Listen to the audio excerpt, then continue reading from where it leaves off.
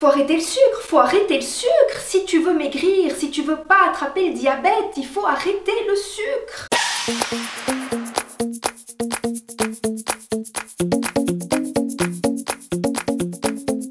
Partons d'une question que vous ne vous êtes peut-être jamais posée. De quoi est composé le soluté qu'on vous met en intraveineuse lorsque vous êtes malade à l'hôpital? Lorsque vous êtes incapable de manger, est-ce qu'on va vous transfuser des lipides?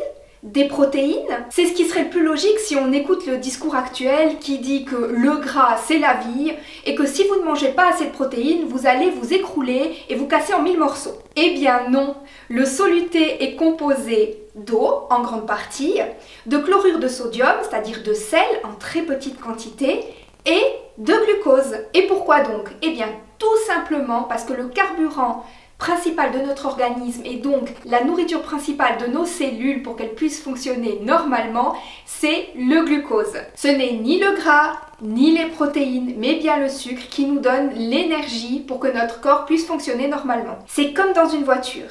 Si vous n'y mettez pas d'essence, elle ne va pas fonctionner. Alors bien sûr, vous aurez besoin d'une petite quantité de liquide de refroidissement, vous aurez besoin de lave-glace hein, si jamais vos vitres sont sales, mais ce qui va vous faire avancer et ce que vous allez mettre en plus grande quantité dans votre voiture, eh bien c'est l'essence. Et pourtant, c'est tellement logique quand on y pense.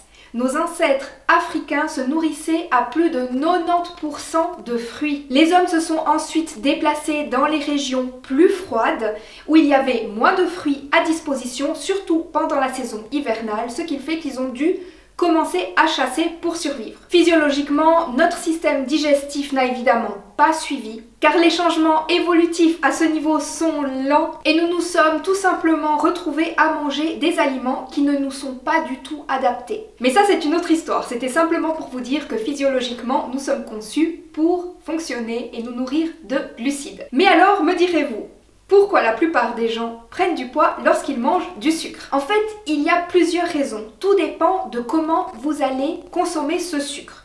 De quoi allez-vous accompagner le sucre que vous mangez? Lorsque vous mangez du sucre, ce n'est évidemment pas du sucre cristallisé à la petite cuillère. Bien souvent, le sucre est accompagné par du gras, comme dans le chocolat, les pâtisseries ou les biscuits. La part de graisse dans ces aliments est très importante et souvent constituée de graisse animale comme le beurre, la crème, le lait, les œufs. L'être humain a une appétence naturelle pour les aliments qui sont constitués de sucre et de gras car ce sont des aliments qui sont très très caloriques.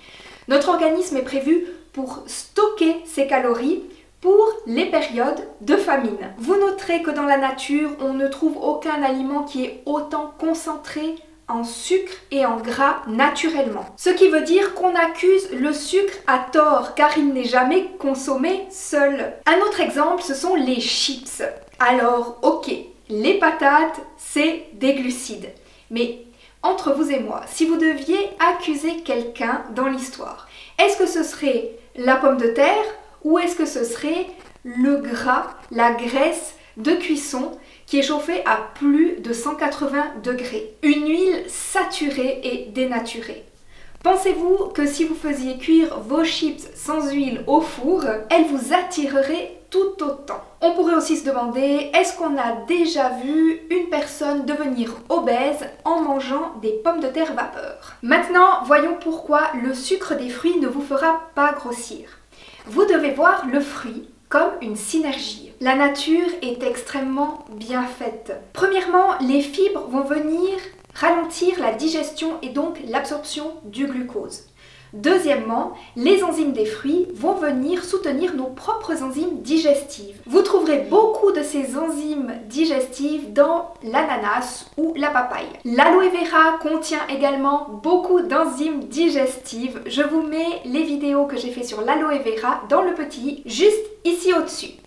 Mais le plus important dans tout ça, c'est que le sucre contenu dans les fruits va être utilisé directement par votre organisme pour tout ce que vous faites durant la journée. Il va être également utilisé pour le fonctionnement normal de votre organisme, pour la respiration, la digestion. Le surplus sera stocké sous forme de glycogène dans vos muscles. Ne vous en faites pas, il ne sera pas stocké en gras comme on vous le dit souvent. Demandez à un marathonien comme il est difficile de remplir à 100% ses stocks de glycogène avant un marathon. C'est impossible. Les réserves ne seront jamais remplies à 100%.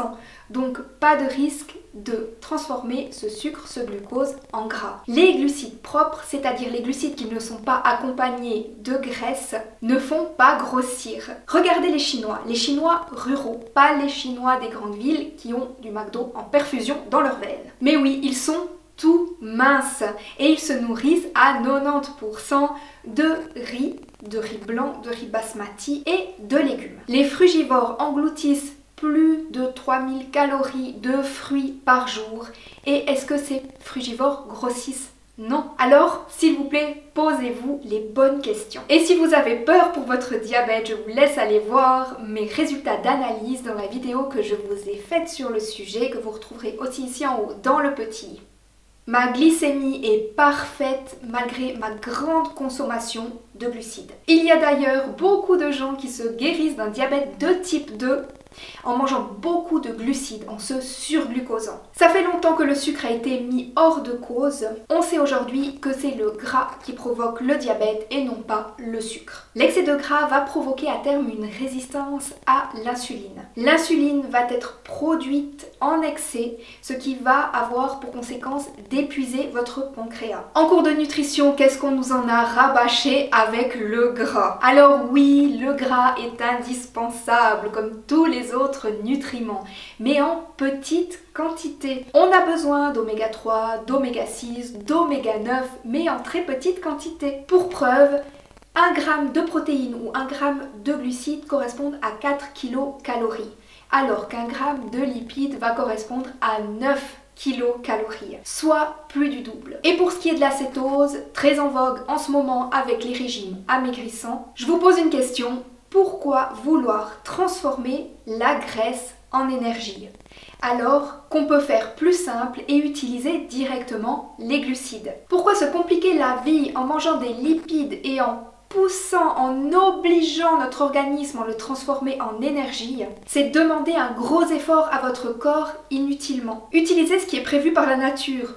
Mangez des glucides, stockez-les en glycogène et utilisez ces stocks. Votre corps vous remerciera, il n'a pas envie d'être affamé en glucides. On terminera cette vidéo en parlant de la soi-disant dépendance au sucre qu'on compare à la dépendance au tabac, voire à la dépendance à l'alcool. Ce n'est pas une dépendance, c'est simplement que votre corps appelle à son énergie vitale.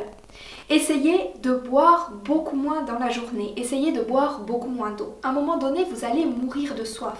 Votre corps va appeler à l'eau. Non mais à l'eau. Il ne vous demande pas de l'eau parce qu'il est drogué à l'eau, il vous demande de l'eau parce qu'il en a besoin pour survivre. Notre corps demande du sucre parce que c'est son énergie vitale tout simplement. Est-ce qu'un lion est drogué à la viande de gazelle?